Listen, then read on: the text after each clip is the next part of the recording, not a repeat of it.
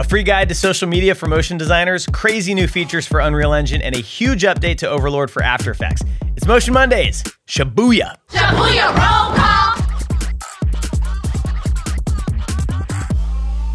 Motion Hatch just released their free updated social media guide 2.0 for motion designers, and it is packed with real strategies that actually work. The guide includes 52 post ideas, that's a year's worth for those bad at math, plus tools for tracking your progress and landing clients. This year has proven that social media, especially LinkedIn, can be incredible for generating work, but posting regularly feels like a second full time job. That's why Hayley Akins and the Motion Hatch team built this comprehensive system. It covers what to post, when to post, and how to follow up effectively. The best part? It's completely free. Head to motionhatch.com slash SOMsocial2 to grab your copy. The link will be in the description. And they've even included a walkthrough video to help you implement everything. If you've been struggling to build a presence online without losing your marbles, I've lost my marbles. This guide is exactly what you need. Cavalry 2.2 just dropped with some serious upgrades. Think of Cavalry as Houdini for 2D artists. It makes complex animation tasks feel trivial once you understand its workflow. New features include OpenType support, gradient along a path, the white whale of motion graphics, new behaviors, multiple strokes on shapes, fresh fall off options, and a quick mask mode. There's also major performance improvements across the board. If you're not familiar with Cavalry, check out our recent interview with the founders where we dive deep into what makes it different from After Effects. The team keeps pushing boundaries with each release, and we're looking into producing some Cavalry training in the future. Co founder Ian Waters has a great walkthrough video showing all the new features in action. Let us know in the comments if you're using Cavalry and what you think about these updates. I just did an extremely unscientific poll on X to check the temperature of our industry as 2024 wraps up. The results? Pretty evenly distributed, with a slight majority reporting a below average year, but plenty having average or even great years. Comparing this to a similar poll from last September, there's actually a slight uptick in artists saying that they're busier this year than last. Anecdotally, I'm hearing from artists and studios that 2024 has been busier than 2023. We'll be diving deep into the state of the motion design economy in our upcoming end of the year podcast dropping in late December. Last year's was nearly seven hours long, and my editors are begging me to make this one shorter. We'll see. Drop a comment below and let us know how 2024 has treated you financially. We'd love your insights for the podcast. Time for a quick tip from our own Aharon Rabinowitz showing how to create lights in Unreal Engine and Cinema 4D that are invisible to the camera. Let's check it out. If you've ever wanted to make an object in Unreal like this glowing cylinder invisible to the camera, but visible in reflections, there's a really easy way to do that. I'm going to select my cylinder here and I'm going to type in visible and I'm just going to uncheck visible and then I'm going to type in effect and I'll choose effect indirect lighting while hidden. Once that's turned on, we can see the lighting reflected in the object, but we don't see the emissive object itself. It's also really easy to do in Redshift. With my object selected, I'll just choose tags and then render tags and then Redshift object. Then I'll click on override for the visibility here and I'm just going to turn off primary ray visible. And once that's done, as long as visible and reflections is turned on, your object will cast the light without actually being seen. You can also turn off things like visible to global illumination and cast shadows for even more control. Deep Glow 2 just launched for After Effects and it's ready to help you blow your clients into another plane of consciousness. Nice, fellas. This insanely popular Glow plugin has become the go to for motion designers who need more control than After Effects built in options. Version 2 adds lens dirt texturing, multicolor tint, tone mapping, and other upgrades that make it even more powerful. The team at Plugin Everything continues their streak of delivering tools that actually solve real problems. Keep an eye on aescripts.com. It launches today and looks like another winner.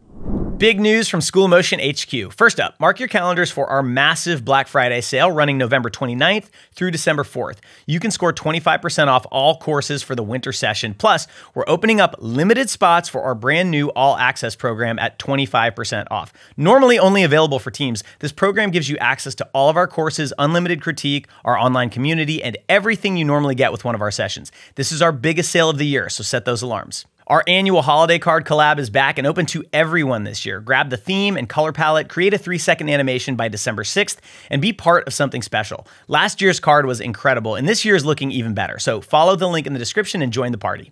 Finally, active students and alumni can catch our monthly live stream this Thursday at 2 p.m. Eastern, featuring Tal from Motion Array, who will share how motion designers can earn extra income creating assets and templates for their marketplace. Keep an eye on your inbox for login details. These streams are always packed with industry insights, and this is one you won't want to miss. Coca Cola Brazil just recreated Coke's annual The Holidays Are Coming spot using AI, and, well, It's interesting. While they clearly use some traditional compositing to get their logo right on the trucks, the AI generated elements feel noticeably janky and soulless compared to previous years. Sure, it's cheaper to produce, but the magic feels lost in translation. This is another sign, though, that brands are leaning into AI for faster, cheaper content creation.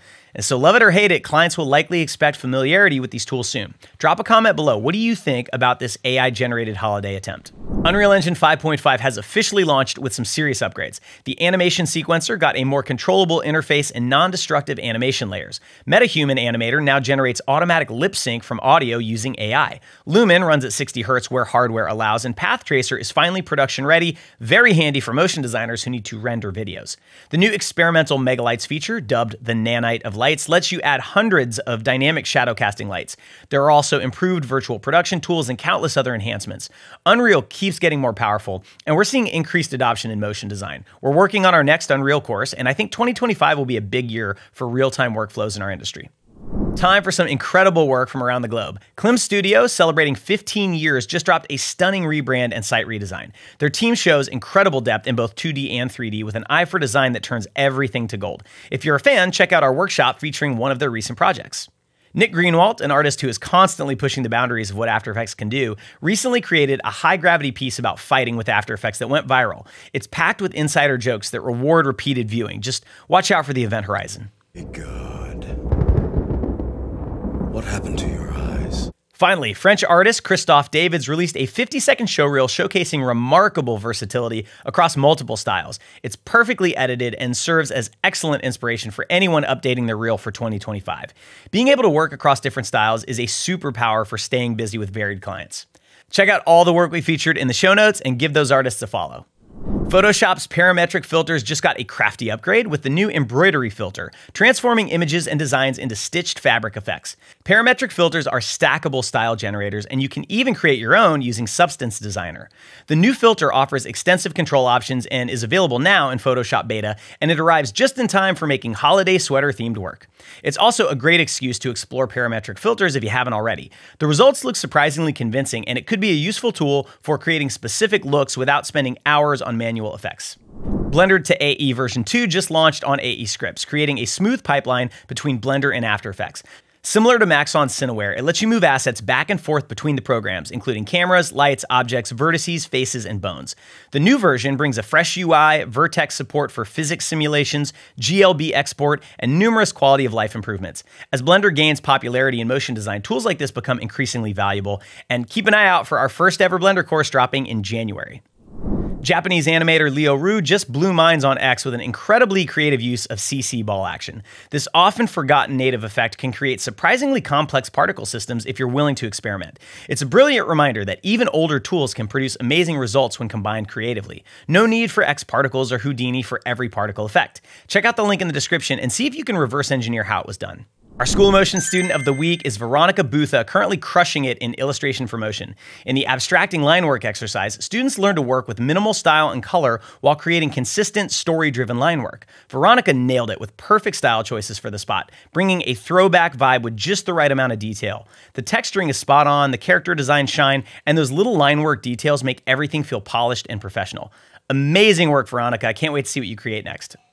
Cascadeur, the AI assisted character animation tool, just released a mobile app for iOS devices. Their auto posing AI helps create more natural weighted poses, and now you can work gesturally on iPad or iPhone. It's fully compatible with the desktop version, and we're hearing great things about how well the AI tools integrate to save time rather than replace artist input.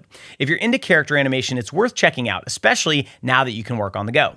Big news from our friends at Battle Axe. They've just updated Overlord to support Figma, which has been gaining traction as an alternative to Illustrator and even Photoshop. Its cloud based workflow and infinite canvas make it appealing for certain projects, and now you can easily move assets between Figma and After Effects. Jake Bartlett has an excellent walkthrough on his channel showing how it streamlines the process. With Figma being the go to for UI UX work, which is increasingly overlapping with motion design, this integration feels perfectly timed. If you bought Overlord after last November, this upgrade is also free. It's an early holiday gift for motion designers.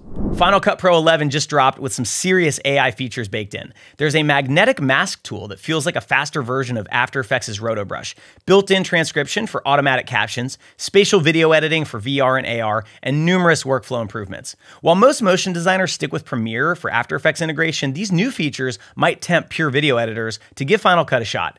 Apple also offers a 90 day free trial if you want to test drive it. Let us know in the comments are you Team Premiere or Team Final Cut?